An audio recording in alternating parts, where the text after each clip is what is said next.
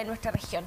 Tenemos el gusto hoy día de tener en nuestra conexión, ¿cierto?, al director del nuevo concierto de la Orquesta Sinfónica, Eduardo Díaz, que ya está con nosotros eh, para contarnos todos los detalles de este importante homenaje, ¿cierto?, a grandes compositores chilenos.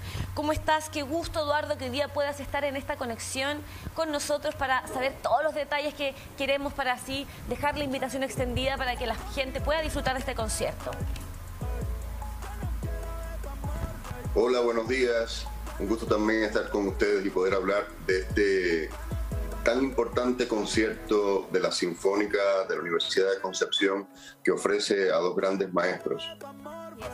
Primeramente me gustaría eh, que la gente te conozca también, Eduardo. Me gustaría que nos comentes cómo es que comienza tu vinculación con esta orquesta de nuestra Universidad de Concepción y cómo ha sido para ti el desafío de ya llevar eh, todo este tiempo, ¿cierto?, acompañando tan importante proceso.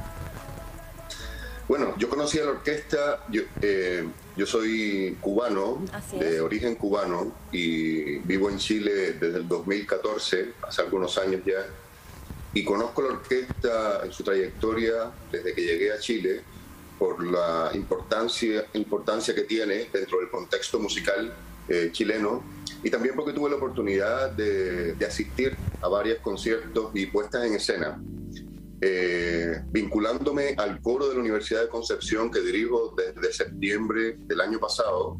Eh, me invitaron, eh, y estoy muy agradecido por, la oportunidad, me invitaron a, realizar un concierto, un primer concierto con, con, ellos a finales del año pasado, concierto que se volvió a repetir a principios del 2022. Y tuve una nueva invitación ahora para compartir con los excelentes músicos de, la orquesta de la Universidad de Concepción este lindo homenaje que se está ofreciendo a Vicente Bianchi y a Guillermo Riff.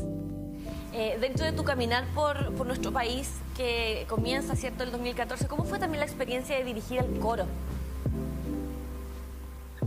Bueno, em, desde que yo llegué a, a, a Chile, tenía muchas ganas de retomar eh, con profundidad la dirección coral, pues me había vinculado mucho a la dirección de ópera.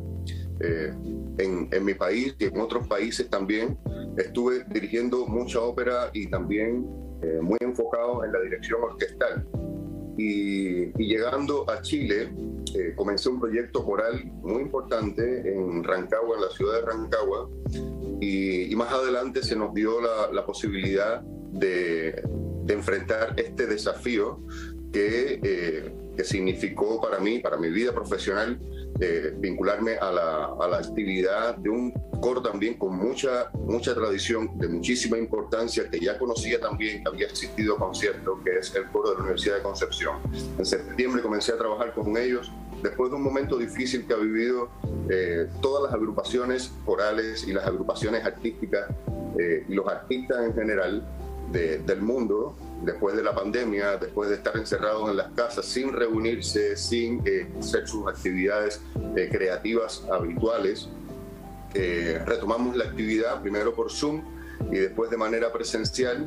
Y, mm, y sí, ha sido, ha sido muy enriquecedor para mí. Eh, yo estoy súper feliz con lo que hemos podido lograr en pocos meses. Sabemos que la actividad coral la actividad artística es eh, un proceso lento de solidificación de, para conseguir los, los, diferentes objetivos, para también disfrutar el proceso, eh, ya que es una especie de comunidad donde, donde, tienen diferentes gustos afines, que es lo que nos lleva al final a reunirnos, reunirnos eh, en, en, torno al canto coral, al amor a la música, al amor al canto.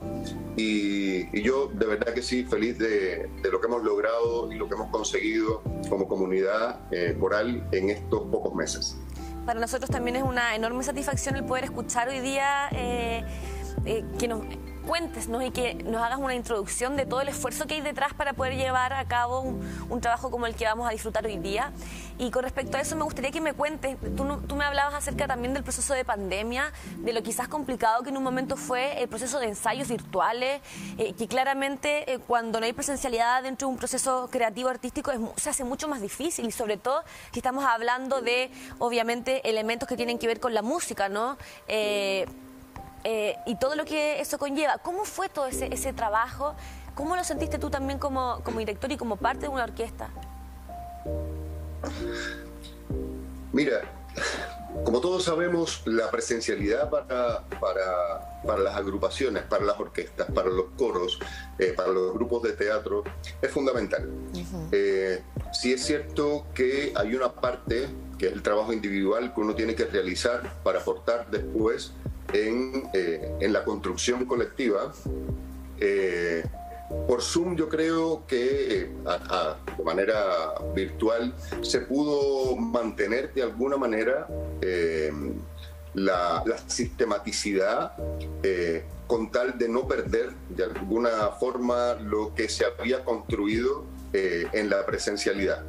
Pero esto fue simplemente una medida desesperada, creo, frente al contexto y a la necesidad de proteger y de cuidar la salud de las personas.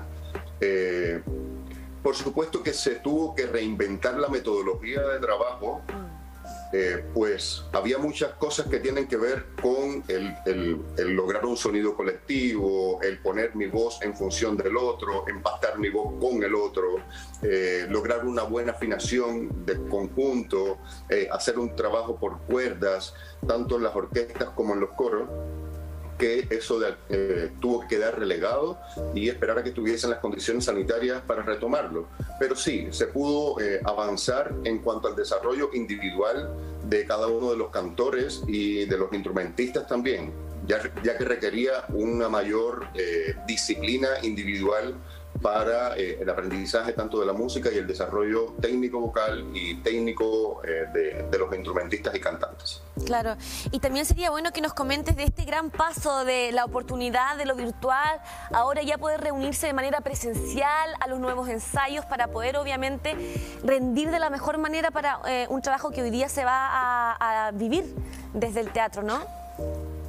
Eso fue una gran fiesta, la primera eh, gran posibilidad de poder eh, conjuntarnos nuevamente después de tanto tiempo separados. Y la otra, la otra gran alegría fue eh, poder compartir esa, nuestro sonido, nuestras músicas, nuestras propuestas artísticas con el público, que también echamos mucho de menos ya como es habitual acá en Concepción, eh, disfrutar de los sonidos del coro y también de las propuestas artísticas de la orquesta. Así que estos encuentros, nuevamente, retomar estos encuentros con, con el público ha sido una tremenda alegría, ya que nuestra comunidad no solamente se centra en los integrantes del coro y la orquesta, sino también el público habitual. Claro. Y también me gustaría saber cómo es para ti la posibilidad de, del estudio, ¿no? De, destacados eh, compositores como, los que son los que van a estar hoy día, ¿no? Vicente Bianchi y, y, Rifo, Guillermo eh, Rifo. ¿Cómo, ¿Cómo ha sido también la tónica de, poder llevar a cabo un proceso que va de la mano con compositores tan destacados de nuestro país? ¿Y cuál es la importancia para ustedes también y para toda una orquesta de poder rendir cierto homenaje a ellos? Encuentro sumamente significativo que eh, la orquesta esté rindiendo un homenaje a este, estos dos grandes maestros que detentan el premio a la música nacional y que eh, son un referente, son un referente por la diversidad con que abordaron su, estética creativa. Eh, pues pensamos muchas veces en Guillermo Rifo y en Vicente Bianchi como, como, como personas que se inspiraron solamente en la música popular. Y sí, es cierto que, tienen una gran inspiración en la música popular, en la música folclórica, eh, pero son grandes maestros que dominaron perfectamente bien la escritura eh, orquestal, eh, supieron cómo sacar el mayor, la mayor expresión a esta gran diversidad de instrumentos que compone una orquesta sinfónica y nos hacen mover, nos hacen bailar, nos hacen cantar pero también nos hacen, eh, nos traen imágenes eh, de su visión sobre la ciudad, nos traen imágenes sobre pueblos originarios, nos traen imágenes de momentos festivos importantes eh, patrios de, de, Chile. Entonces, el poder rendir un homenaje a estas dos grandes figuras que son patrimonio de, la música del país, encuentro que es sumamente significativo. Yo siempre pienso que, por supuesto, que en todas las orquestas sinfónicas y en los coros tienen que estar presente la música universal, eh, Mozart, Beethoven, pero pensemos que eh, nosotros tenemos una gran responsabilidad con nuestros compositores. Por eso aplaudo esta posibilidad de rendir homenaje a, a, estos dos grandes maestros y mostrarlos en su gran espectro, pues vamos a escuchar música muy contemporánea, música también con influencia de jazz, música con influencia de las últimas técnicas contemporáneas y populares y eh, con el más rico sabor chileno y folclórico. Mm. Tú mismo hablas de, la importancia del, patrimonio cultural, no solamente de resaltar compositores conocidos a nivel mundial, sino que esa posibilidad de hacer que el público naufrague, o vaya cierto moviéndose entre distintos estilos, pero eh, en un contexto de las raíces chilenas. Eh, es bueno que cada país tenga esa posibilidad de poder entregar eh, a la ciudadanía cultura que tenga que ver con lo propio para así que haya una mayor posibilidad de identidad cultural? Absolutamente, absolutamente. Además, lo que pasa con estos grandes maestros que siempre eh, hacen con su pluma y con su impronta, le dan un carácter universal a algo que pudiésemos pensar como local. Eh, parece que eso es una, una capacidad que tienen estos dos, eh, tanto Bianchi como, como Rifo, que le da un carácter universal a la música chilena. Perfectamente eh, pudiésemos, estos son músicas que se pueden tocar en el mundo entero y van a ser tan disfrutadas y van a ser tan valoradas como las valoramos nosotros. No solamente creo que, que, se circunscribe a un, a un contexto nacional, eh, son obras que tienen una factura de, universalidad. Mm. Eh, y por eso creo que es repertorio obligatorio para las orquestas de nuestro país y del mundo también. Eduardo, eh, hagamos la invitación entonces para que la gente pueda ah, acompañarlos hoy día a las 19 horas en este gran concierto. Pues sí, me parece que es un concierto que no se pueden perder, pues los van a disfrutar muchísimo. Vamos a acercarnos más a, la vida y obra de Vicente Bianchi y Guillermo Rifo y la oportunidad también tremenda de poder disfrutar de una de las orquestas sinfónicas más importantes de nuestro país, la Orquesta Sinfónica de la Universidad de Concepción. Los esperamos hoy viernes a las 19 horas en el Teatro de la Universidad.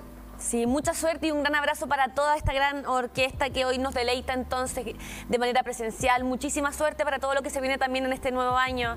Gracias por esta conexión. Muchas gracias a ustedes.